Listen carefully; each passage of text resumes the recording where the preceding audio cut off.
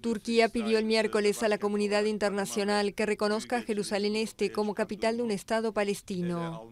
El presidente turco Recep Tayyip Erdogan hizo el planteo durante una reunión de líderes musulmanes convocada luego que Estados Unidos reconociera la semana pasada a la ciudad santa como capital de Israel. Israel es un estado de ocupación. Además, Israel es un estado terrorista. El presidente palestino Mahmoud Abbas enfatizó por su parte que Jerusalén es una línea roja para los musulmanes. Hemos dejado claro en todas nuestras conferencias y resoluciones que Jerusalén es una línea roja.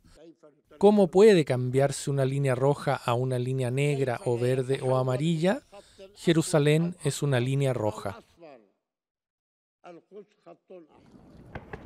La decisión del presidente Donald Trump ha provocado manifestaciones en varios países de Oriente Medio y un brote de violencia en los territorios palestinos y en Jerusalén. Desde el pasado jueves, cuatro palestinos murieron y cientos resultaron heridos.